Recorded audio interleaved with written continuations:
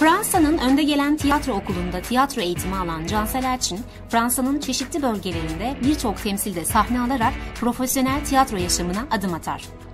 Cansel Elçin'in sanat hayatını Türkiye'de sürdürmeye başlaması, Kırık Kanatlar dizisinin oyuncu kadrosunda yer almasıyla olur.